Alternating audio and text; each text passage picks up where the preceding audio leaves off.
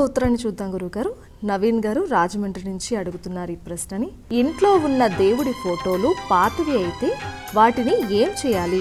ఈనాటి కాలంలో విగ్రహాలు ఫోటోలు అనేటువంటివి కనుమరుగవుతున్న సమయం ఇది. ఎందుకంటే అందరూ ప్లాస్టర్ ఆఫ్ ప్యారిస్లో అవి వాడుతున్నారు. ఒకనాటి కాలంలో ఫోటోలకు ఒక విలువ ఉండేది. సహజంగా మనం ఏం చేస్తాము అంటే దేవుడి పటము ఎక్కడైనా కాలికి తగిలితే దండం పెట్టుకుంటాం. ఆ పటం కనుక పాతదైపోతే కొంతమందికి మనసొప్పదు. ఈ చెత్తబొట్టులోను వాటిలోను వేయడానికి మనసొప్పదు. మనసొప్పనప్పుడు శాస్త్రం ఏం చెప్తుందంటే రెండు విధాలుగా దానిని మనం త్యజించవచ్చు. సర్వభక్షకుడైనటువంటి అగ్నిలో వేయడం. హోమం చేస్తున్నారు. వీటిని తీసుకెళ్ళి దాంట్లో వేయచ్చు. కొంతమందికి అయ్యో పేపర్ కాలిపోతుంది అనే బెంగ ఉంటుంది. అలాంటి వారికి ప్రత్యామ్నాయంగా జీవనదిలో వదిలిపెట్టవచ్చు. ఈ కాగితం పుట్టింది ఎక్కడి నుంచి? చెట్టులో నుంచి. చెట్టుకు మూలం ఏమిటి? మట్టి. మట్టిలో నీరుంటే చెట్టు మొలుస్తుంది. ఈ కాగితాన్ని ఎప్పుడైతే మీరు నీటిలో వదిలిపెడతారో కలుషితమైన పదార్థం అంతా బయటికి వెళ్ళిపోగా ఆ కాగితాన్ని నీరు స్వీకరించి మట్టిలో కలిపేస్తుంది. అందుకనే ప్లాస్టిక్ వాడకాన్ని ఎందుకు నిరోధిస్తున్నారు మన వాళ్ళు?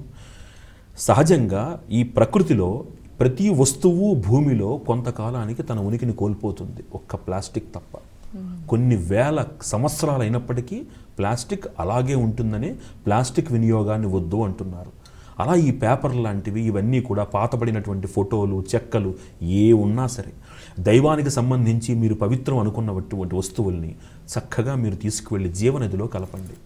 అలా ప్రవాహంలో కొట్టుకుపోతూ నీటిలో మునిగి అవి భూమిలో కలిసిపోతాయి. ఎవరు తొక్కినటువంటి పాపము అంటదు. దాన్ని మీరు పాడి చేసినటువంటి బాధ మీకుండదు. అవి చక్కగా మళ్ళీ పవిత్రమైన స్థానంలోకి చేరుకుంటాయి. మరొక ఉత్తరాన్ని చూద్దాం గురుగారు. జయశ్రీ గారు విజయవాడ నుంచి అడుగుతున్నారు ఈ ప్రశ్నని. దేవుడి గది విడిగా లేని పరిస్థితుల్లో ఆటంకాలు ఏర్పడితే ఏం చేయాలి? అసలు దేవుడి గది అనేటువంటి ఒక ప్రశ్న మీ నోట్లో నుంచి రావడమే చాలా ఆనందంగా ఉంది. అసలు దేవుడి గది అనేటువంటి ప్రాముఖ్యతనే ఇప్పుడు ఈనాటి ఈ అపార్ట్మెంట్ కల్చర్ కోల్పోయింది. దేవుడు ఎక్కడో ఒక చిన్న చోట ఒక దీపంగా ఉంటున్నాడు తప్ప దేవుడి కోసం ఒక ప్రత్యేక గదిని కేటాయించాలనే సంకల్పం చాలా తక్కువ మందిలో కనబడుతోంది. దేవుడి గది ప్రత్యేకంగా లేనప్పుడు మీరు దానిని ఈశాన్యం మూల ఒక చిన్న ఒక పటం కింద ఒక గూడు కింద పెట్టుకొని దేవుడిని మీరు అక్కడ పెట్టవచ్చు. ఆటంకాలు వచ్చినప్పుడు అంటే సహజంగా స్త్రీలకు సంబంధించినటువంటివి జాత మృతా శౌచముల ఎందు దేవుణ్ణి మనం తాకకూడదు కాబట్టి ఆయా సమయములందు మీరు దానికి ఒక చిన్న తెర అడ్డుతెర లాంటిది వేసి చాలామంది ఈనాటి కాలంలో చేస్తున్నటువంటి పొరపాటు ఏమిటి అంటే దేవుడి మందిరానికి తలుపు పెట్టుకుంటున్నారు. దేవుడి గది బెడ్రూమ్ కాదండి. ఆ దైవము యొక్క ఆ పాజిటివ్ ఎనర్జీ ఆ సానుకూలమైనటువంటి ఆ తరంగ దైర్ఘ్యము ఇల్లంతా వ్యాపించాలి. ఎలా వ్యాపిస్తుంది అంటే దీపం జ్యోతి పరం బ్రహ్మ దీప సర్వతమోపహ అంటున్నాను.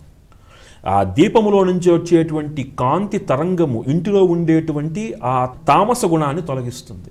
మీరు దేవుడి దగ్గర దీపం పెట్టి తలుపులు గడియ పెడితే ఉపయోగం ఏముంది? దేవుడి దగ్గర తలుపులు పెట్టరాదు మొట్టమొదటి నియమం. మరి ఏం చేయాలి? అంటే తాత్కాలికమైనటువంటి ఒక అడ్డుతెర లాంటిది కట్టుకోండి. దేవుడికి ఒక ప్రత్యేకమైనటువంటి ఒక రూమ్ ఉంటే ఒక కట్టెల లాంటిది పెట్టండి. ఒక ప్రత్యేకమైనటువంటి గది లాంటిది మీరు ఏర్పాటు చేసుకోలేని సమయంలో ఈశాన్యంలో చక్కగా ఒక గూడు పెట్టుకోండి. ఆ గూడుకి ఒక చిన్నపాటి ఒక తెర ఈ ఇబ్బంది రోజుల వరకు మాత్రమే. తర్వాత దేవుడి గది ఎప్పుడూ తెరిచే ఉండాలి. ఆ దైవాన్ని ఎప్పుడు మనం దర్శిస్తూ ఉండాలి. ఈశాన్యము అని ఎందుకు అన్నానంటే వాస్తుశాస్త్ర ప్రకారము ఉత్తర దిక్కుకి తూర్పు దిక్కుకి మధ్యలో ఉన్నటువంటి ఈశాన్యానికి చాలా విశేషమైనటువంటి ప్రాధాన్యత ఉన్నది. అది ఎంత పవిత్రంగా ఉంటే ఇల్లు అంత శోభస్కరంగా శోభాయమానంగా వర్ధిల్లుతుంది. మగిలి మిగిలిన ప్రదేశాలలో ఆ పవిత్రత ఉండదా అంటే ఏ పవిత్రత ఎంత ఉన్నప్పటికీ ఇంటిని కాపాడేటువంటి దిక్కు ఈశాన్యము ఈ ఉత్తరము తూర్పు. కాబట్టి అక్కడ మనం దీపం పెట్టడం అనేటువంటిది సాంప్రదాయంగా పెద్దలు మనకు చెప్పినటువంటిది ఒక విధానం ఆ దీపాన్ని కనపడుతూ ఉండాలి. ఆ దీపము దైవము కనపడుతూ ఉండాలి. ఇలా మీకు గది లేనప్పుడు చక్కగా ఒక చిన్న గూడు అమర్చుకుని అక్కడ స్వామివారిని పూజించుకోండి. ఇబ్బంది రోజుల్లో అది కనపడకుండా మీరు దాన్ని చూడకుండా ఒక చిన్న అడ్డుతెర లాంటిది కట్టుకోండి.